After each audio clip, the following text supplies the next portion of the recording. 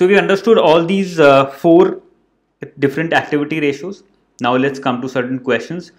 Uh, keep it in mind that these questions are going to be basic in the starting, but over time they will become very, very complex. And those kinds of questions have been and can be asked in the examination, and therefore we need to be very thorough with these kinds of questions, especially from activity ratios. The first question is theoretical. Which of the following is useful in evaluating credit and collection policies? Now, whenever you have credit and collection policy, that means how much time will it take for you to collect uh, collect money from the people who owe you money and how many debtors do you have that means how much credit have you given out to people so credit and debit often becomes con confusing because a debtor is a person who owes you money but you have given money to him on credit. He is not a creditor, but he has taken credit from you. He is a debtor, but he is not debting money. That means he uh, owes you money. You have not taken money from him. So he owes you credit. He credit he you have credited him uh, by certain amount, but he is not a creditor. So the answer is average collection period. Very very simple answer. Even if you have uh, even if you can collect connect these uh, dots of collection collection you can answer the question average collection period in short means the amount of money that it the amount of time that it takes to collect money from people or from organizations who have purchased something from you or loaned money from you. The second question is which of the following ratios measures the speed with which various accounts are converted into sales or cash? The answer is activity ratios. Liquidity ratio deals with how liquid the organization is or how much liquid cash or liquid money does it have.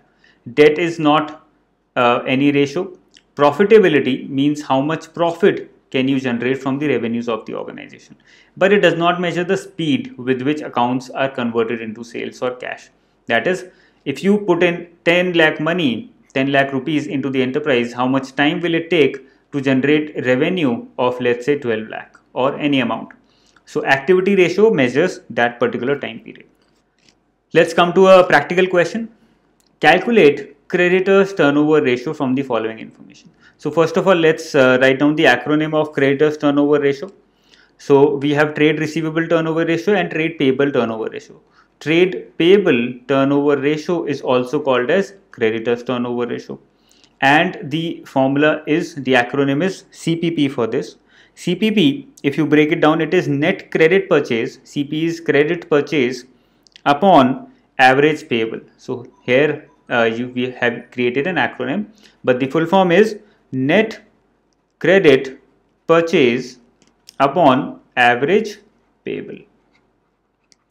Okay. Now let's go through all these uh, figures that have been given and then we'll uh, try to find out the answer. So you remember that it is CPP. Okay.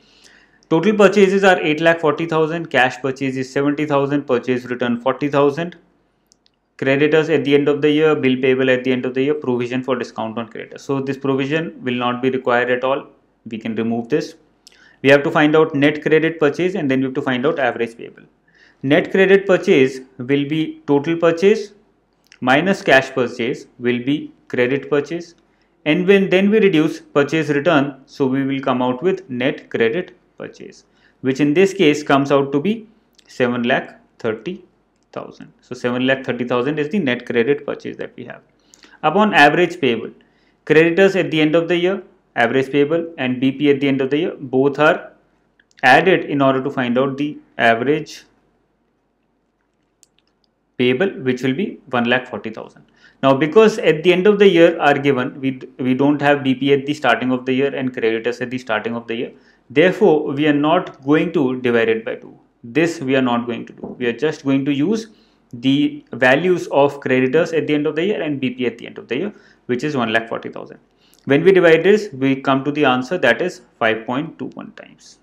So the answer is C 5.21 times.